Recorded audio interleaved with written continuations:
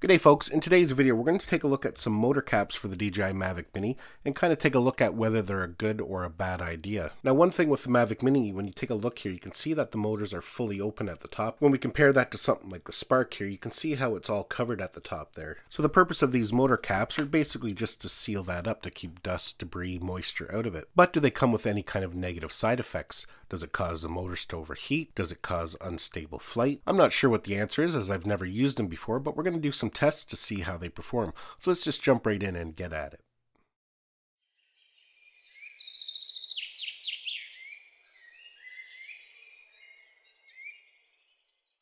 Now, I've never used these before, so I am kind of curious to see if there is going to be any negative side effects. I can really see the benefit of them. With these motors being opened, if you're taking off and landing in dusty environments, you could get a lot of debris built up in there over time. For somebody like myself who lives in Canada, quite often I fly in the winter, and quite often there's light flurries floating around. You could get some snowflakes in there that will then obviously turn to moisture right away. So having motor caps on there, I could see being a big benefit as well. But like I said, is it going to have any negative side effects? Could it cause the motors to overheat? Could it cause the drone to vibrate.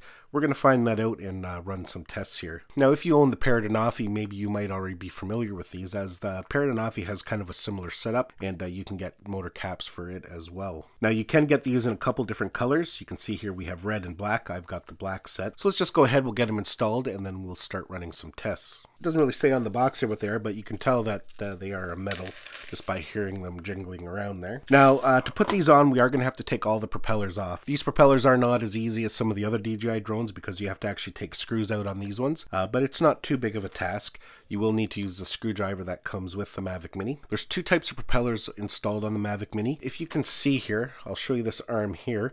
You can see these propellers back here have a little dash right there around the screw. And you can also see here on the arm, there's a dash there. So when you take them off and you put them back on, you want to make sure you put propellers with a dash on arms with a dash. You'll actually notice too that the propellers do have an extra line, the ones that have the dash on it. If we compare it to one over on this side, you can see there's no dash on the arm and there's no dash there on the propeller. And they only have a single stripe at the tip of the propeller there. And the way they work is that these propellers on this side and these propellers on this side are the exact same and vice versa.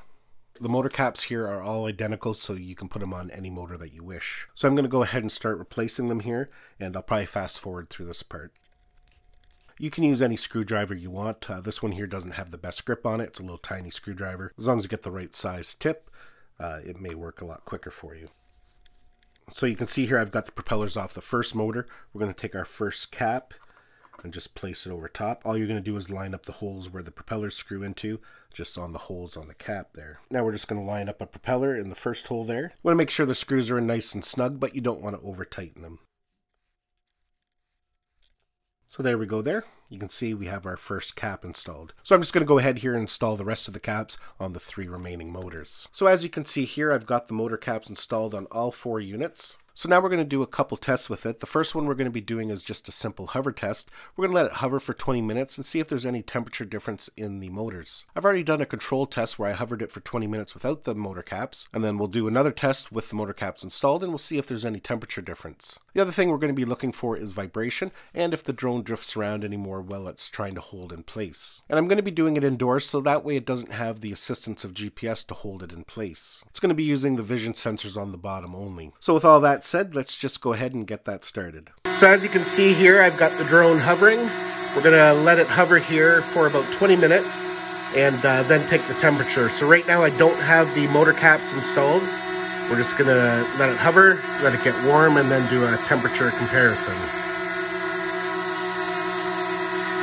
So the drone has been hovering here for about 20 minutes, and the first thing I just must say is that, wow, thing is stable indoors. It hasn't moved an inch since I first launched it. So I'm just going to do a couple quick checks here with the temperature gun.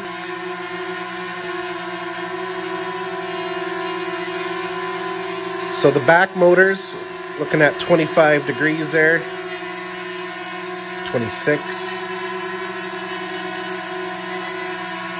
These things aren't 100% accurate, but uh, you can see there it kind of bounces around a little bit but floats between 25 to 27 degrees. Let's do a front motor check here. You can see it runs a little bit cooler, 22 degrees. 23. 23. So that kind of gives us a good baseline after we install the motor caps. We're going to see if there's any major changes. So now I've been hovering here for about 20 minutes with the motor caps on and I haven't noticed any kind of difference in the way it hovers. It's uh, just as stable, hasn't moved, there's no vibrations.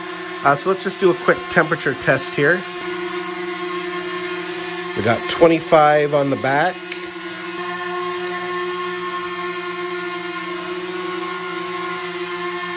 We got 23 on the front. So yeah, as you can see after doing that hovering test, there was really no difference in temperature.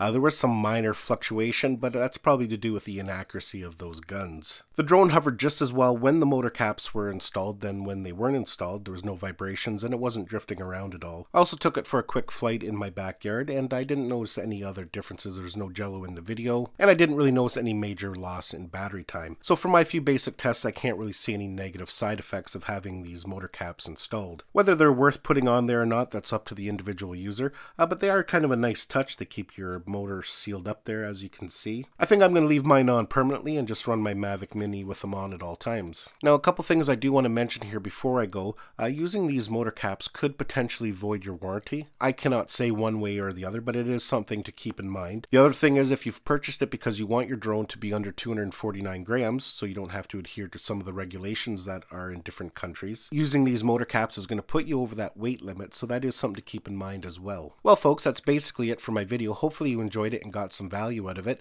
Give it a thumbs up if you did. Don't forget to subscribe to my channel so you don't miss any of our upcoming videos, and we'll see you in the next one.